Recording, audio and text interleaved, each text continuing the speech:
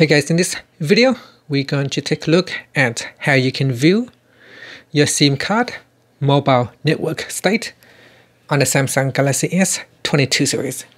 First tap on the home button to go back to the home screen and from the home screen, swipe down at the top and tap on the settings icon. In settings, you want to swipe up to go down and then tap on about phone in here, tap on status information and then you tap on SIM card status. In here, you'll be able to find out your mobile network state.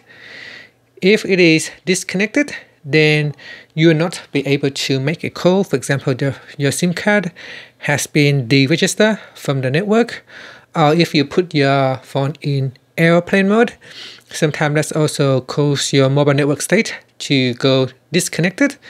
Or if you have an issues with a network connections, sometimes you might need to reset your um, your network uh, settings uh, to re-establish the connections. Once it is connected, it will show mobile network state to connected. And that's it. So that is how you can check it out. And finally, you can tap on the home button to go back to the home screen.